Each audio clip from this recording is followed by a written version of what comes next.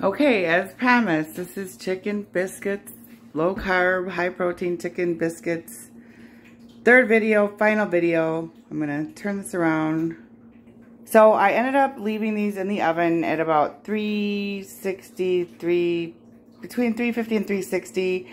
I actually accidentally left them in for about 40, 45 minutes, but they turned out absolutely amazing. They are crispy and I turned this one over so you can, so they're just these perfect little biscuits. And I'm going to like open one so you can see the inside. And they're just going to be perfect for dipping. Like I said, I can freeze them. So I'll, you know, you can eat as many as you need to a day. But like I said, um, I use this scale and I'm just going to put one on there just to just to see how much it actually weighs. So that's more than I thought. So if you go by ounces, I'm going to take it off and make sure that that's really how, okay.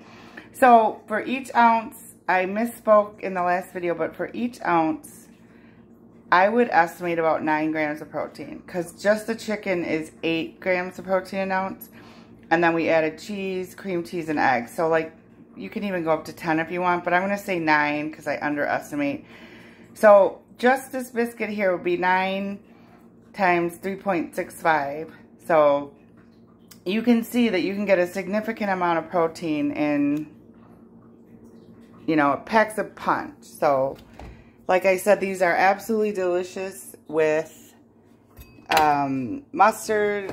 I'm not going to lie, they do get a little dry, but sometimes I just sprinkle a little water in the bottom of a bowl or on top of them, and then I cover it and I microwave them, and that actually gets them a little more moist. But they're delicious. I snack on them while I'm just working at my computer because I work from home, and it's such a great way to get a good amount of protein tasty, yummy, and those are my chicken biscuits.